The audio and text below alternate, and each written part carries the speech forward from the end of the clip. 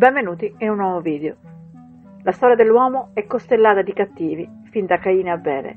A ben guardare, la ragione di questa cattiveria è sempre una di queste: pazzia, smania di potere o cieca fedeltà a un'ideologia.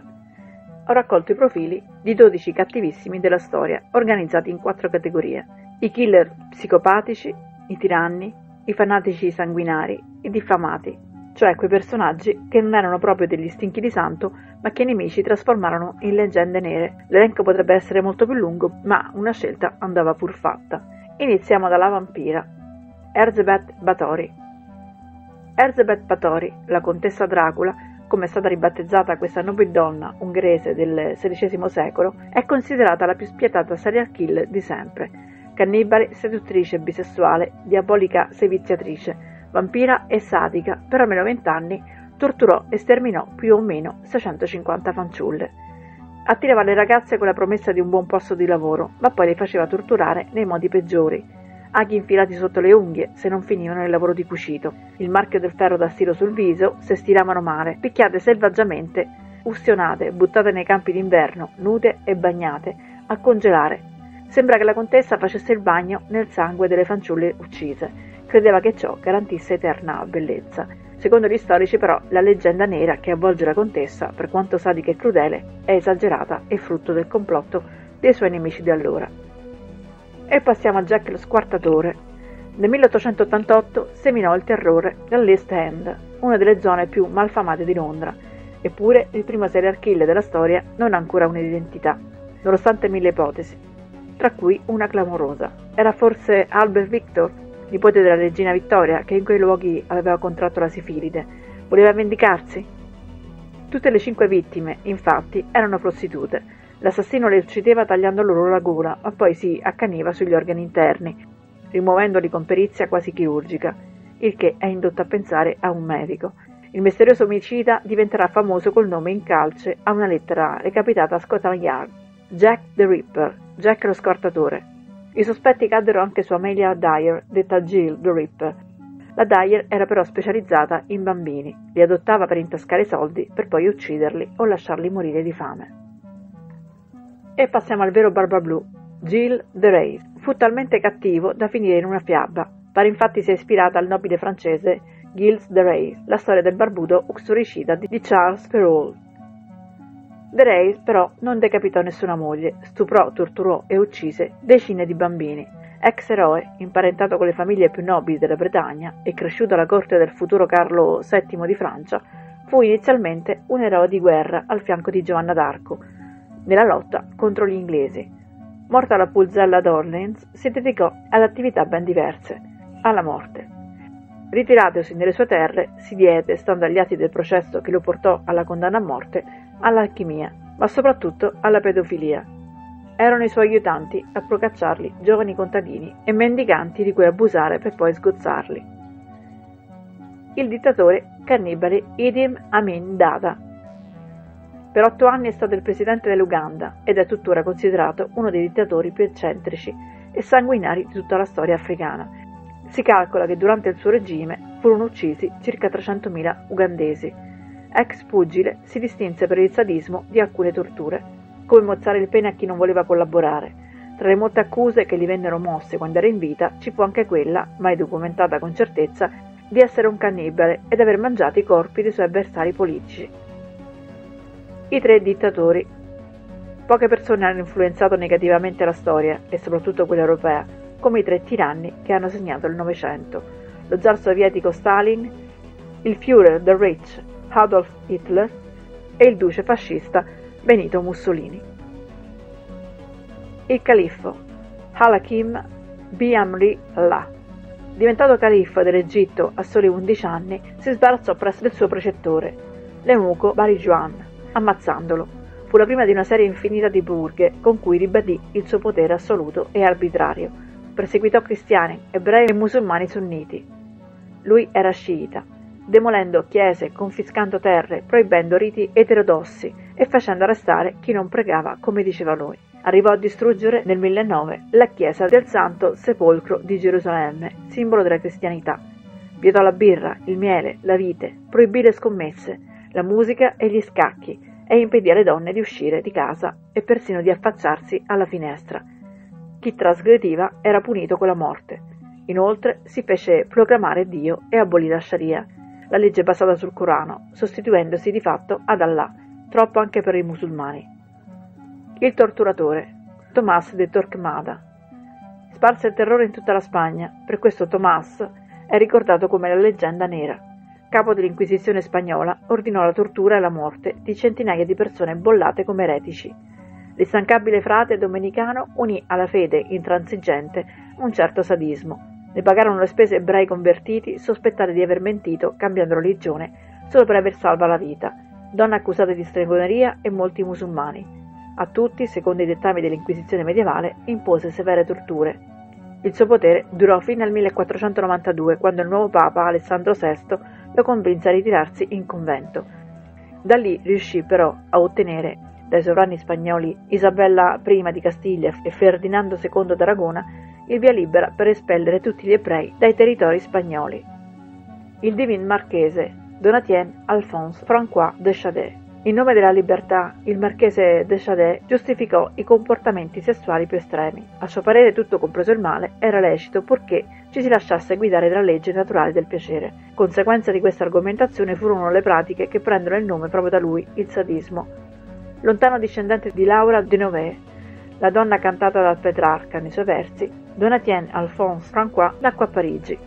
Una brillante carriera militare e un matrimonio non gli impedirono di diventare un campione del libertinismo, spingendosi a ogni tipo di depravazione. Proprio per questi eccessi passò lunghi periodi in carcere e in manicomio. Qui si dedicò alla scrittura. L'asse del male, Osama Bin Laden.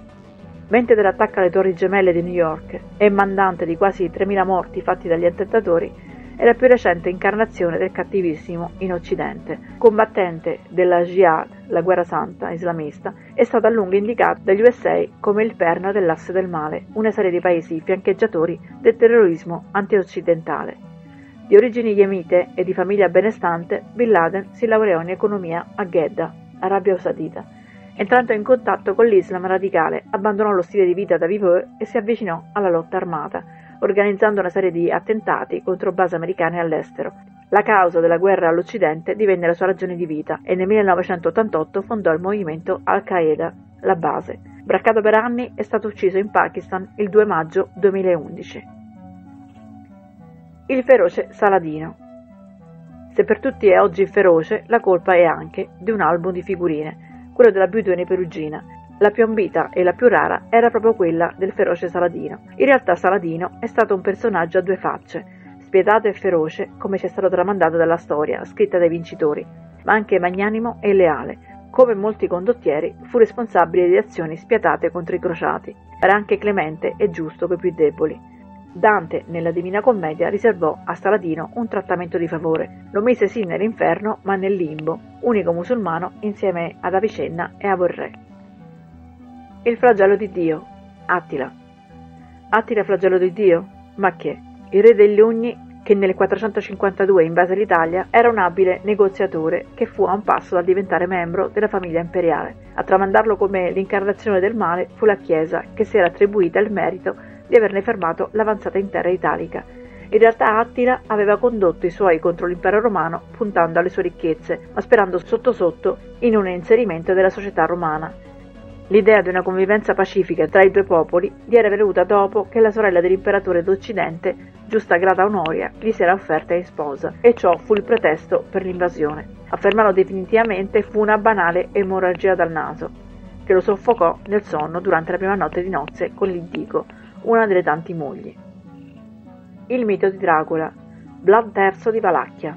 In Romania, Vlad III Draculea, il diavolo, è un eroe nazionale, è considerato un padre della patria. La propaganda nemica ne fece invece un mostro assetato di sangue. Molto di quel che si dice di lui deriva da racconti diffusi proprio alla fine del XV secolo, che poi ispirarono, nel nome almeno, il vampiro protagonista del romanzo Dracula del 1897 di Bram Stoker.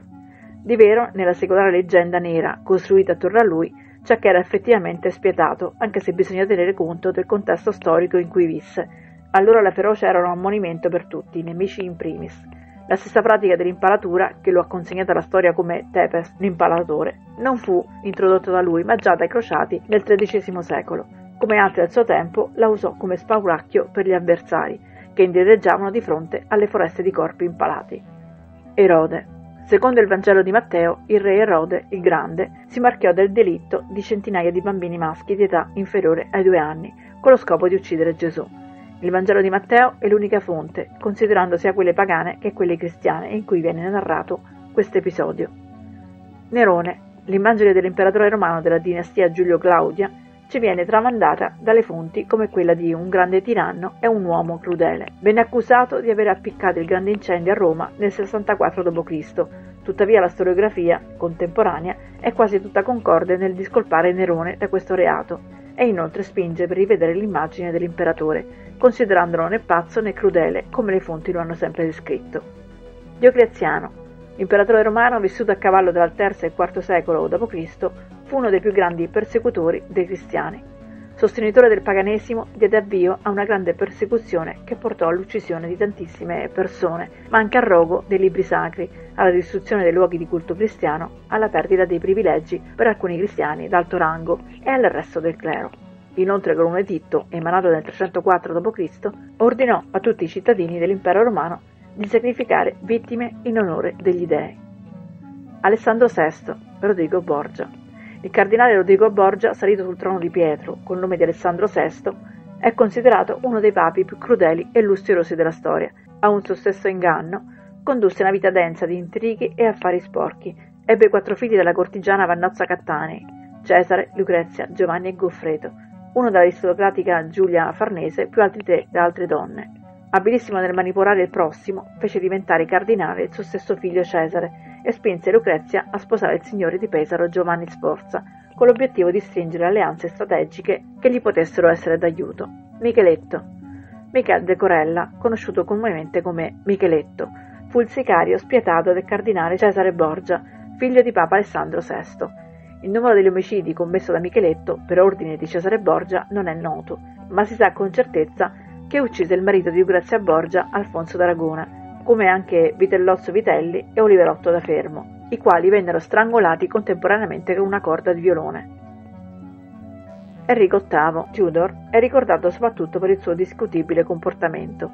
Ebbe sei mogli, tra cui Caterina d'Aragona e Anna Bolena. Enrico VIII fece annullare il suo matrimonio con Caterina d'Aragona poiché lei non gli diede l'erede maschio, mentre ad Anna Bolena toccò una sorte ben più triste. Accusata di stregoneria dal marito, la condannò a morte e il giorno dopo dell'esecuzione sposò la nobile di corte Jane Seymour. Un'altra vittima di Enrico VIII Tudor fu il suo consigliere Thomas Crowell, che il re mantenne in vita giusto il tempo per far sì che testimoniasse a favore dell'annullamento del suo matrimonio con Anna de Cleves. Successivamente lo fece condannare e in seguito diede la colpa della sua morte ai ministri inglesi. Karl Brandt, il medico nazista Karl Brandt, fu l'accompagnatore personale di Adolf Hitler. A lui si dà la responsabilità per la teorizzazione e pratica eugenetica, ossia per i metodi finalizzati al perfezionamento della specie umana che portarono all'olocausto. Brandt venne condannato a morte con l'accusa di crimini contro l'umanità. Pol Pot il dittatore cambogiano Pol Pot fu responsabile della morte di circa un milione e mezzo di persone, tra cui bambini e anziani, uccise mediante torture e massacri vari, numero al quale bisogna aggiungere centinaia di migliaia di morti uccisi dal lavoro forzato, dalla malnutrizione e dalla mancanza di assistenza sanitaria. Nel 1997 fece uccidere il suo braccio destro Son Sen. Bruto e Cassio. Marco Giugno Bruto. Era figlio di Marco Giugno Bruto tribuno della plebe nell'83 a.C., e di Servilia, sorellastra di Catone Uticense. Bruto studiò in Grecia, venne considerato un filosofo di tendenze stoiche. Nel 53 fu questore di Appio Claudio in Cilicia. Bruto prestava denaro a usura, anche del 48%, quando il tasso normale era del 12%, e non mancava di utilizzare i soldati romani per riavere indietro i denari prestati.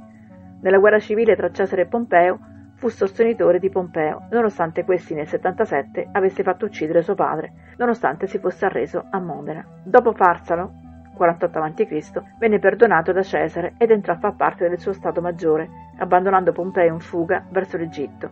Nel 46 divorziò dalla moglie Claudia, figlia di Appio Claudio, e sposò Porcia, figlia di Catone Uticense. che era stato acerrimo nemico di Cesare.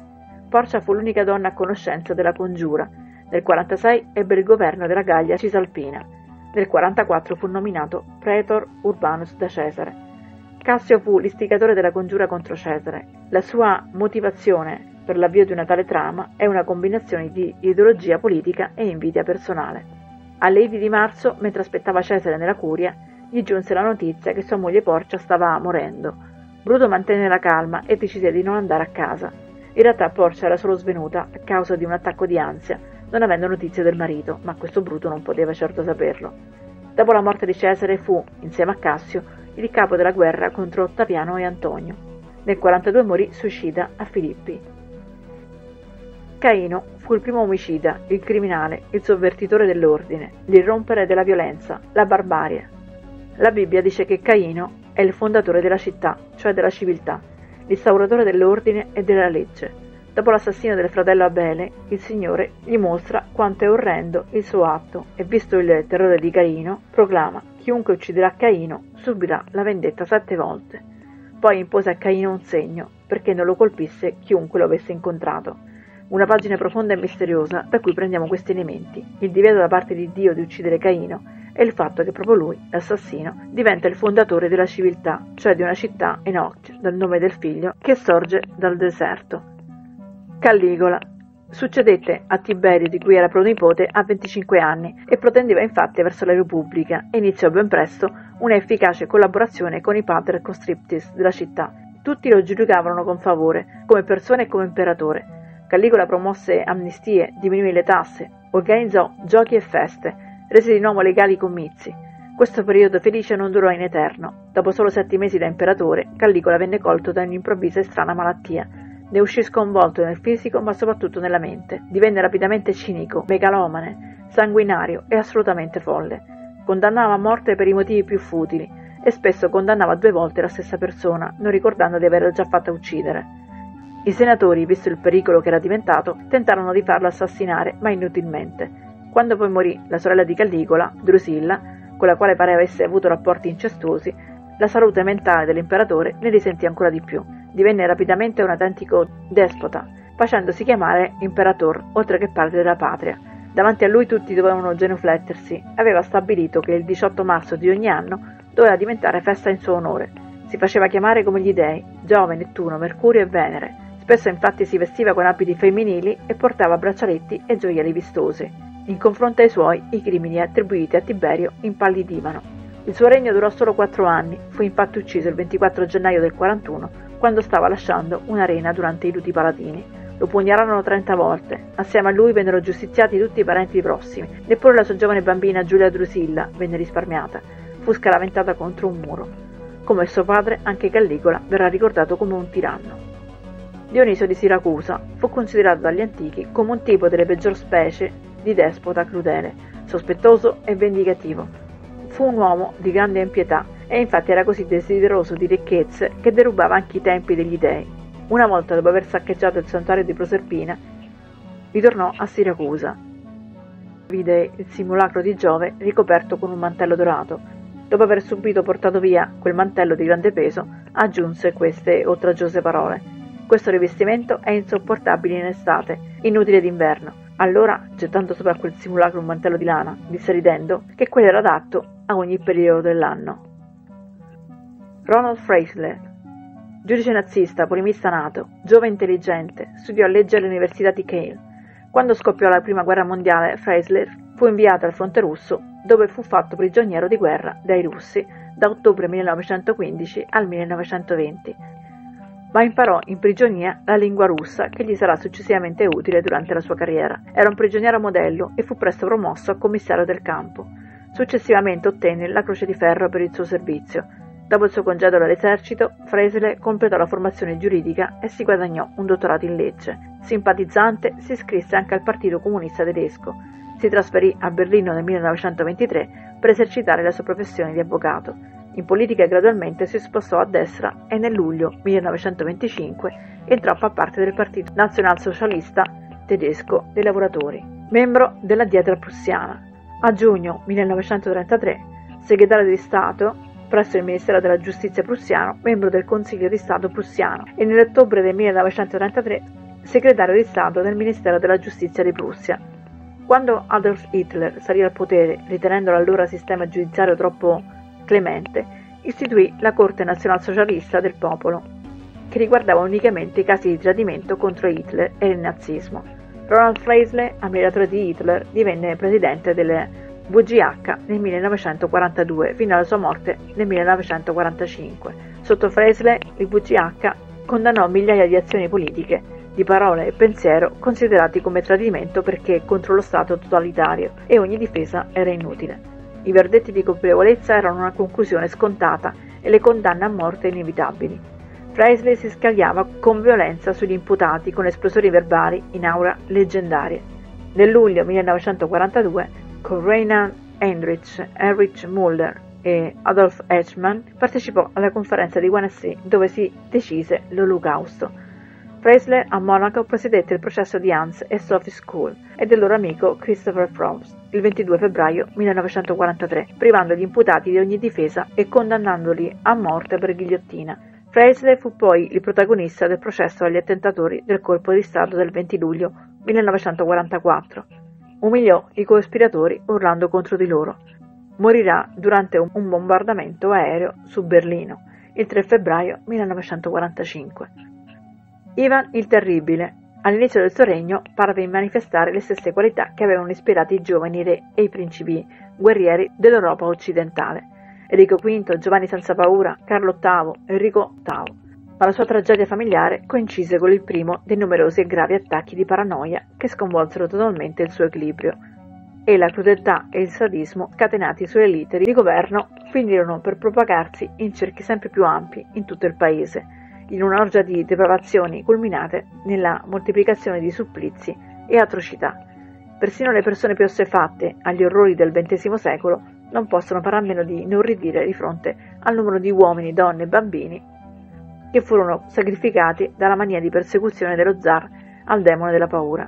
Uomini uccisi in battaglia, nelle camere di tortura o giustiziati, spesso senza i conforti religiosi e senza sepoltura. Cadaveri gettati in pasta ai cani, donne carnefici e vittime, bambini massacrati con modalità sconosciute.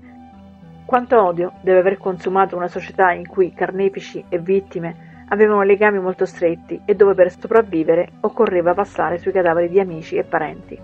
Ivan e il suo regno erano una sola cosa, fisicamente e spiritualmente. La fusione dell'umano con il divino lo autorizzò a purificare il mondo dal peccato servendosi della violenza divina.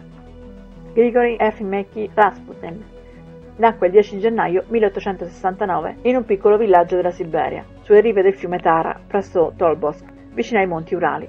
Crebbe nella cultura contadina e rimase fondamentalmente un semi-analfabeta per tutta la vita si narra che da piccolo cadde nel fiume gelido con suo fratello e che riuscì a guarire da una grave polmonite, dopo giorni di deliri e strane visioni.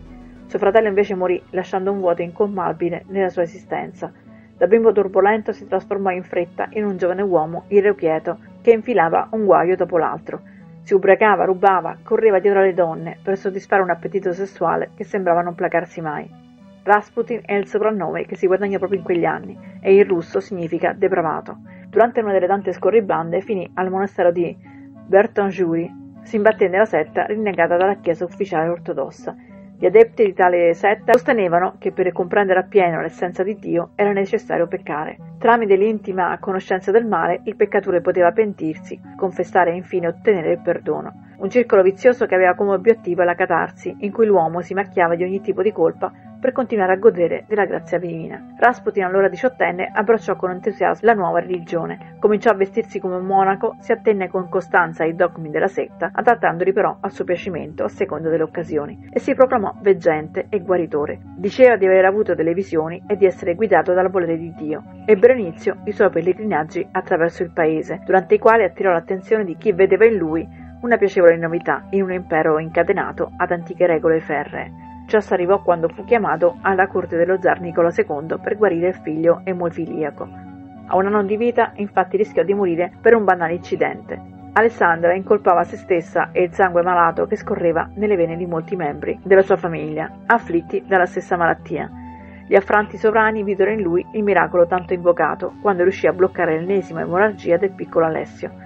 Alcuni suppongono che ipnotizzò il bambino e lo guidò verso una sorta di autoguarigione, altri che utilizzò i suoi poteri soprannaturali per far coagulare il sangue. In ogni caso, l'episodio fu sufficiente a trasformare un semplice ex contadino e pseudo-prete in un membro della famiglia reale. Rasputin continuò la sua attività di guaritore e consigliere spirituale anche all'esterno della corte, Riceveva quotidianamente tutti coloro che chiedevano il suo aiuto. La Russia intera non sapeva spiegarsi come fosse possibile che gli imperatori accettassero un individuo così ambiguo a palazzo. Nessuno sapeva della malattia del piccolo Alessio e questo portò molte persone a dubitare dell'integrità morale dello zar e della zarina. Fu assassinato nel 1916. Maximilien Robespierre fu uno dei più feroci leader della rivoluzione francese che attraverso il governo rivoluzionario fece assassinare il re senza un processo è stato uno dei principali fautori del Regno del Terrore, in cui persero la vita da 18.500 a 40.000 persone, di cui 1.900 uccisi nell'ultimo mese del suo potere. Tra i condannati a morte dei cosiddetti tribunali rivoluzionari, l'8% erano aristocratici, il 6% del clero, 14% della classe media, 70% operai o contadini accusati soprattutto di crimini solo presunti. Saddam Hussein nasce a Uja nel 1937 si dedica alla politica molto presto, militando nel Partito Socialista Arabo Baath. Nel 1959 viene condannato per l'uccisione del leader politico Qasim e fugge prima in Siria e successivamente al Cairo. Solo nel 1964, dopo essere rientrato in Iraq, venne eletto nelle file del Baath e ne diventa uno dei protagonisti carismatici, tanto che nel 1968 è l'indiscusso promotore della rivoluzione irachena, che lo vede agire in diversi colpi di Stato tesi a rovesciare il governo allora in carica. Nel 1979 è segretario del Ba'ath e nello stesso anno diventa il presidente della Repubblica irachena. Un anno dopo gli attriti fra Iraq e Iran si fanno sempre più aspri a causa dell'occupazione iraniana di alcuni territori iracheni. Il risultato è una dura guerra, cruenta e drammatica. Saranno migliaia i morti contati alla fine del conflitto, durato 15 anni, e nessuno ne uscirà vincitore. È il 1988, lo Stato iracheno in quel periodo è debole ed estenuato dalla guerra, da cui è appena uscito ma la sede di potere di Saddam non si placa. Due anni dopo, nel 1990, invade il Kuwait, ignorando completamente le ripercussioni non solo nei paesi arabi, ma anche nei paesi ad essi alleati.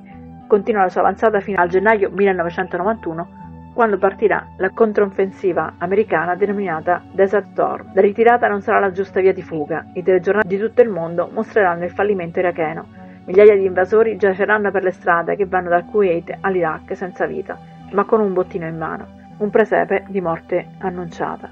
Nonostante la dura sconfitta inflittagli, Saddam resta al potere e continua il suo sterminio a scapito delle minoranze kurde, da sempre emarginate dai vertici dirigenziali della dittatura irachena.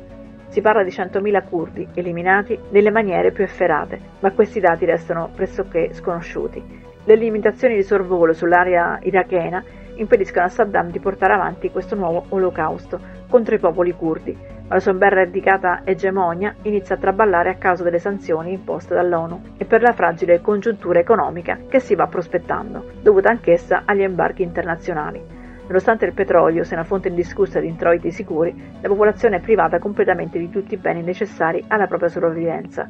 Il declino di Saddam inizia lentamente a profilarsi, benché lui stesso abbia ordinato la costruzione di un monumento a Baghdad per celebrare la vittoria sui kuwaitiani.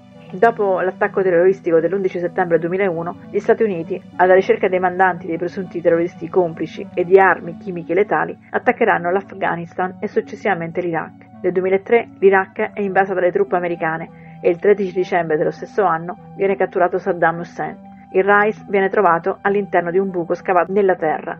Il volto trasfigurato da una barba incolta e uno sguardo perso nel vuoto farà il giro del mondo. Viene processato da un tribunale iracheno per la strage di Dujail di 148 sciiti. Il 5 novembre il proclama della sentenza viene espresso dalla stessa giuria, condanna a morte per impiccagione per crimini contro l'umanità. E tutti gli altri? L'elenco potrebbe continuare. Il video finisce qui, se vi è piaciuto mettete un bel like e se volete potete iscrivervi non dimenticando di attivare la campanellina. Un bacio e al prossimo video.